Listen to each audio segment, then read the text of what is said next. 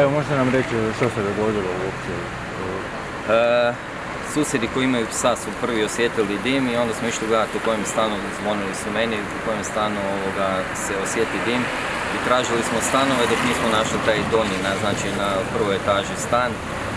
Iz njega je buktio dim, ali su protuprovalna vrata bila. I dok smo ovoga, susjedi su umeđu vremenu pozvali vatrogasce, dok su oni stigli, ovoga, više se nije ni moglo spuštati, tako da su svi stanari ostali gore. Ovoga, biti zarobljeni na neki način. E, u biti e, zapravo se radi o požaru, ne o eksploziji. E, Ne, nije eksplozija, da, susjed je ovoga, stari je preko 70 godina, živio je sam i bio okružen, znam ili sam bio kod njega, ovoga, sa knjigama, znači cijela soba je bila samo puna knjiga i papira. A on je pušio i pretpostavljam da je, mu je pozlo ili nešto pa da, da je jednostavno se zbog toga zapalio. A što rekli ste za eksploziju, što, što je uzrokovalo? A ljudi pričaju o eksploziji, ali to su vatrogasci ulazili u stan. Imaju protuprovalna vrata i onda su razvalili ta vrata. Vjerojatno se to čulo.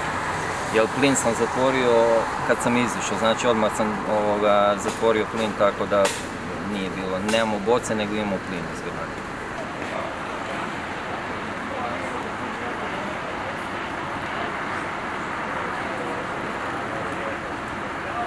Marko Adamčić, voditelj vatrogasne smjene. E, Recite, ovoga, što se točno dogodilo? Znali se uzrok požara? Znači uzrok požara se još ne zna, to nije naravno i naša nadležnost, to je nadležnost policije. Uglavnom došlo je do požara na prvome katu, u spavačoj sobi po našim nekakvim pretpostavkama. Nažalost u tom stanu je i jedna osoba preminula, a od naše strane je jedna osoba sa trećeg kata spašena i predana hitne pomoći na daljnje zbrinjavanje i nekoliko osoba smo još evakuirali čisto oružne strožnosti Ta spašena osoba bila u kojem stanu? To je bila, ne, ne, osoba je bila na trećem katu, požar je na prvome katu, znači treći kat se počeo puniti dimom i osobu je stvarno trebalo spasiti, zato je zaprimljena na hitnu pomoć zbog udisanja prevelike količine dima. To je neka mlađa, starija osoba. E, Ne bi znao, to su napravili kolege iz noća s mene, mi smo samo na. Dobro. E, Stanari kažu susjedi odnosno da su čuli eksploziju. Je li bila eksplozija ili ste to vi razvaljivali vrata?